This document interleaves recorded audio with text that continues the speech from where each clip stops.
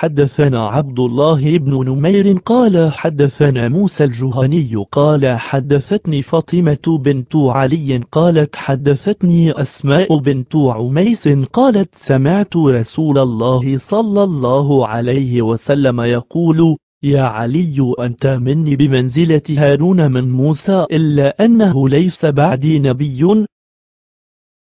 حان أبو كامل ويزيد بن هارون وعفان قالوا حدثنا محمد بن طلحة قال يزيد في حديثه حدثنا الحكم وقال عفان في حديثه سمعت الحكم بن عتيبة عن عبد الله بن شداد عن أسماء بنت عميس قالت لما أصيب جعفر أتينا النبي صلى الله عليه وسلم فقال أمي ألبسي ثوب الحداد ثلاثا. ثم اصنعي ما شئت قال عبد الله وحدثنا محمد بن بكار قال حدثنا محمد بن طلحة مثله.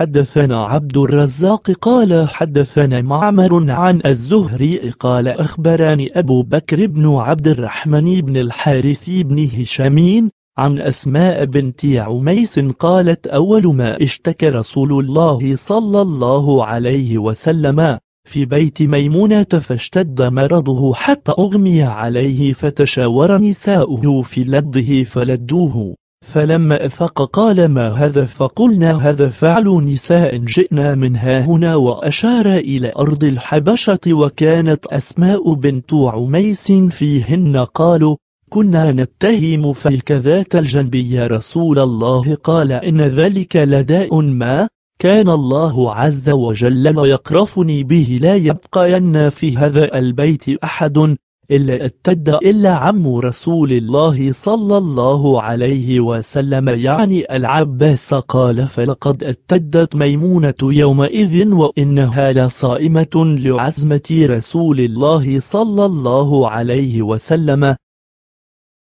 حثنا سفيان عن عمرو بن دينار عن عروة بن عامر عن عبيد بن رفاعة الزرقي قال قالت أسماء يا رسول الله إن بني جعفر تصيبهم العين أفأسترقي لهم؟ قال نعم فلو كان شيء سابق القدر لسبقته العين.